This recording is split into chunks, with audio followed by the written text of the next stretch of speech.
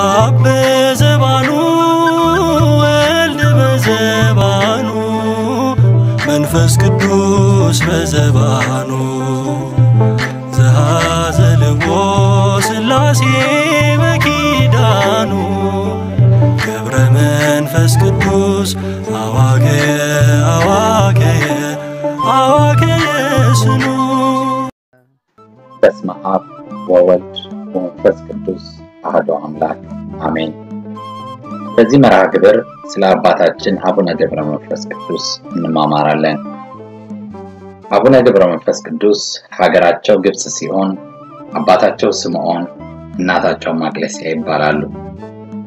ልጅ አጥተው ሰላሳ ዓመት ሲያዝኑ ኖረዋል። እርግጠኞች ነን ዛሬ በልጅ ምክንያት የፈረሱ ብዙ ትዳሮች አሉ። ለመሆኑ እግዚአብሔርን ስንለምነው እንደምን ባለ ልቦና ነው? ጥያቄያችንን ፈጥኖ ላይመልስ ይችላል። ያልተመለሰው ለምንድን ነው ብለን ግን መጠየቅ ይገባናል። ቅዱስ ዮሐንስ አፈወርቅ የምንለምነውን የማናገኘው በእምነት ስለማንለምን ነው፣ በእምነት ብንለምን ፈጥነን ተስፋ ስለምንቆርጥ ነው ይላል። ሰውን ብንለምነው እንደ ጨቅጨቅ ነው አድርጎ ሊቆጥረው ይችላል። እግዚአብሔር ግን እንደዚህ አይደለም። ለምኑ ታገኙማላችሁ፣ አንኳኩ ይከፈትላችኋልም ያለን እርሱ እግዚአብሔር እንጂ ሰው አይደለምና የሚያስፈልገን ከሆነ ያለ ጥርጥር ይሰጠናል። መቼ ሊሆን ይችላል? ነገ ሊሆን ይችላል። ወይም እንደ ሰሞንና አቅሌሲያ የዛሬ 30 ዓመት ሊሆን ይችላል። ጭራሽ ነው ላይሰጠንም ይችላል። አልሰጠንም ማለት ግን ጸሎታችን ምላሽ አላገኘም ማለት አይደለም። የለመንነው እኛን የሚጎዳን ስለሆነ እንጂ እግዚአብሔር ሲሰጥ ስለ ፍቅሩ ሲነሳም ስለ ፍቅሩ ነውና። ስምዖንና አቅሌሲያ ጥያቄያቸው የተመለሰው ከሰላሳ ዓመት በኋላ ነበር። ከስዕለ ሥላሴ ወድቀው እግዚአብሔርን ሲለምኑ በዚህ መሰረት አባታችን አቡነ ገብረ መንፈስ ቅዱስ መጋቢት 29 ቀን ተጸንሰው ታኅሳስ 29 ቀን ተወለዱ። እንደተወለዱ ስብሐት ለአብ፣ ስብሐት ለወልድ፣ ስብሐት ለመንፈስ ቅዱስ ብለው እግዚአብሔርን አመሰገኑ። አባታችን በዚህ ዕለት ተወልደው እንዲህ ማመስገናቸው ሊደነቅ ይችላል። ይኸውም ብዙዎቻችን ሕፃናት እግዚአብሔርን አያውቁትምና ብለን ስለምናስብ ነው። ይህ ግን ስህተት ነው። መጥምቁ ዮሐንስ ገና በእናቱ ማኅፀን ሳለ ያመሰገነው እግዚአብሔርን ስላወቀው ነበር። የሆሳዕና ሕፃናት እግዚአብሔርን በእልልታ ያመሰግኑት መላእክትንም የመሰሉት አምላካቸውን ስላወቁት ነው። አቡነ ተክለ ሃይማኖት በተወለዱ በሦስተኛ ቀናቸው አህዱ አብ ቅዱስ፣ አህዱ ወልድ ቅዱስ፣ አህዱ ውእቱ መንፈስ ቅዱስ ብለው ያመሰገኑት አምላካቸውን ስላወቁት ነው። የሆሳዕና ድንጋዮች እግዚአብሔርን አውቀውት ካመሰገኑ በአርያ ሥላሴ የተፈጠሩት ሕፃናት ቢያመሰግኑ ማምን ይደንቃል። አባታችን አቡነ ገብረ መንፈስ ቅዱስ ገዳም የሄዱት በሦስት ዓመታቸው ነበር በቅዱስ ገብርኤል አማካኝነት። አበምኔቱ አባ ዘመደ ብርሃንም ሕፃኑን ተቀብለው መዝሙረ ዳዊትንና ሌሎች የቤተ ክርስቲያን መጽሐፍትን እያስተማሩ አሳደጓቸው። በኋላም ማዕረገ ምንኩስና ተቀብለዋል። ዛሬ ሕፃናትን የምንወስዳቸው ወዴት? ዓለማዊ ትምህርት ብቻ ነውን? መንፈሳዊ ትምህርትን እናስተምራቸው። ልጆቻችን ጥበበኞች፣ ባለጸጎች፣ አዋቂዎች እንዲሆኑ የምንሻ ከሆነ ቅዱሳት መጽሐፍትንም እናስተምራቸው። ሕፃናት ልጆቻቸውን ወደ ቤተ ክርስቲያን ሄደው ቅድሚያ የሚማሩት አባትንና እናትን አክብር የሚል ነው። ስለዚህ ቀድመን የምንጠቀመው እኛው ነን። ልጆቻችን ወደ ገበያ ቦታ ለነፍሳቸው ምንም ወደማይጠቅማቸው ስፍራ ለመውሰድ የማናቅማማ ከሆነ ወደ ቤተ ክርስቲያን ለመውሰድማ እንዴት? አባታችን አቡነ ገብረ መንፈስ ቅዱስ እንዲህ ስማቸው በሰማያት ብቻ ሳይሆን በምድርም ላይ ገነው የምንሰማው ከልጅነታቸው አንስተው ቅዱሳት መጽሐፍትን ስለተማሩ ነው። በሦስተኛው ዓመታቸው እንደ ነቢዩ ሳሙኤል ወደ እግዚአብሔር ቤት ስለሄዱ ነው። አባታችን ማዕረገ ምንኩስናን ከተቀበሉ በኋላ እግዚአብሔር ሀብተ ፈውስን ሰጥቷቸዋል። ብዙ ዕውራንን ብዙ አንካሳንም ፈጉሰዋል። እኛም ከተጠቀምንበት እግዚአብሔር ሀብተ ፈውስን ለእያንዳንዳችን ሰጥቶናል። ኃጢአት ለማድረግ የሚፋጠኑትን አንካሳ እግሮች እንድናቀና፣ በዘፈንና በማይጠቅም ወሬ የደነቆሩትን ጆሮች እንድንከፍት፣ በስድብ በእርግማን ዲዳ የሆኑትን አንደበቶች እንድንፈታ እግዚአብሔር ሀብተ ፈውስን ሰጥቶናል። ከምንም የሚበልጠው ሀብተ ፈውስም ይኸው ነውና የአባቶቻችን አስረፍኖት ተከትለን ብዙ ድውያን ነፍስን ማዳን ይቻለናል። አባታችን አቡነ ገብረ መንፈስ ቅዱስ በትእዛዝ እግዚአብሔር በበረሃ ሲኖሩ ስልሳ አናብርትና ስልሳ አናብስት አብረዋቸው ይኖሩ ነበር። ሊደንቀን ይችላል። ነገር ግን እነዚህ እንስሳት ከጅምሩም የኛ ጠላቶች አልነበሩም። በበደላችን ምክንያት ከኛ ስለተለዩ እንጂ ሔዋን ከእባብ ጋር የተነጋገረችው እባብ የሰው ባሪያ ስለነበር ነው። እንስሳት ሁሉ የሰው አገልጋዮች ናቸው፣ የእኛ የቅድስና ማዕረግ እንጂ ከእነዚህ እንስሳት እነዚህ እንስሳት ከሰው ጋር ጠብ የላቸውም። እነ አቡነ ገብረ መንፈስ ቅዱስ እነ አባ ሳሙኤል ዘዋልድባ እነ አቡነ አረጋዊ እነ ነቢዩ ዳንኤል እነዚህን እንስሳት ያዘዟቸው ድሮንም የኛ ችግር እንጂ እነዚህ እንስሳት ለእኛ ክፉዎች ስላልሆኑ ነው።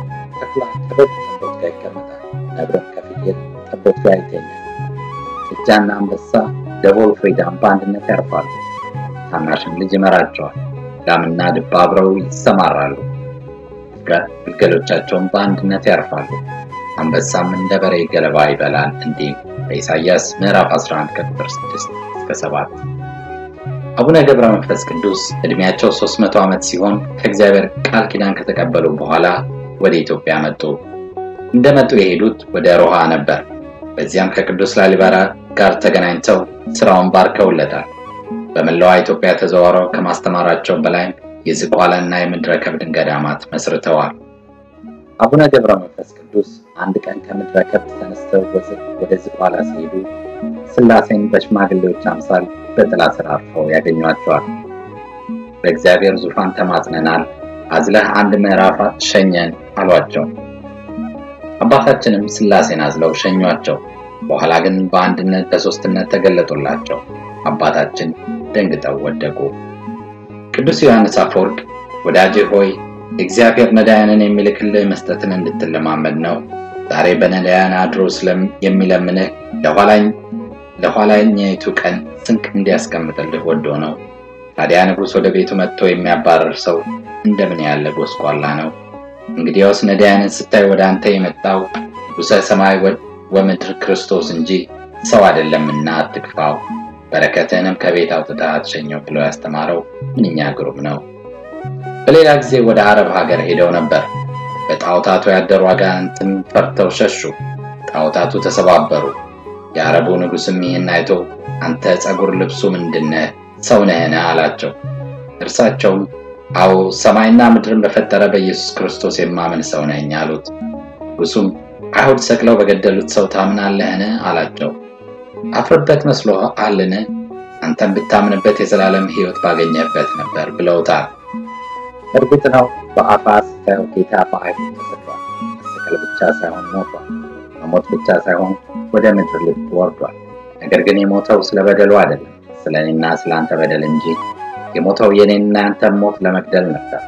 የተሰቀለው የኔንና ያንተን ኃጢአት በመሸከም ነበር። ወደ መቃብር የወረደው ረድኤተ ገሃነምን ያስቀርልን ዘንድ ነው። ሞት አገኘው ብሎ የሚታየውን ስጋውን ዋጠ፣ በማይታየው ድል ተደረገ። ሞት አሁን ድል ተደርጓል። መቃብር ድል መንሳቱ ቀርቷል። አንተም ይህን ብታምን ደግሞ ብትጠመቅ የዘላለምን ሕይወት ታገኛለህ በማለት መልሰውታል። በእውነት የአባታችን በረከታቸው ቃል ኪዳናቸው ከኛ ጋር ትሆን።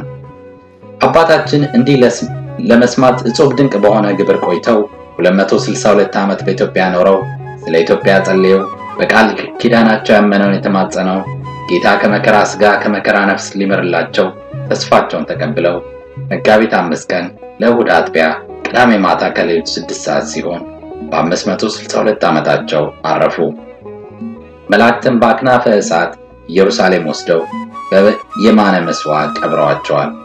ሐዋርያው ቅዱስ ጳውሎስ እኔ ክርስቶስን እንደምመስል እናንተም እኔን ምሰሉ እንዳለን በምግባር በሃይማኖት አባቶቻችንን መስለን እንድንጸና እግዚአብሔር ቸርነት፣ የእመቤታችን አማላጅነት፣ የጻድቁ የአባታችን አቡነ ገብረ መንፈስ ቅዱስ ቃል ኪዳን ይርዳን።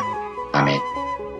አነሳስቶ ላስጀመረን አስጀምሮ ላስፈጸመን ለአምላካችን ለሁሉ እግዚአብሔር ክብር ምስጋና ይሁን። አሜን።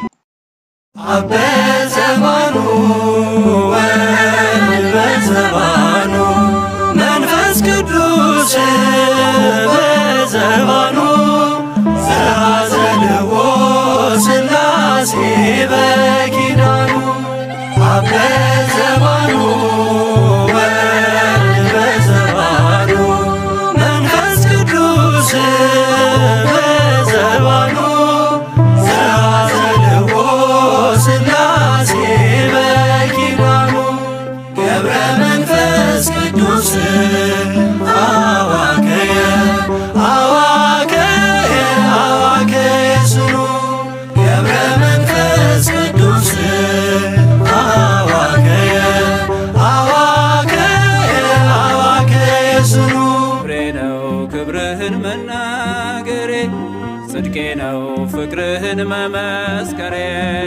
ጌታዬ አምላኬ ልሃለው ስጠራ ሳመልክ ኖራለው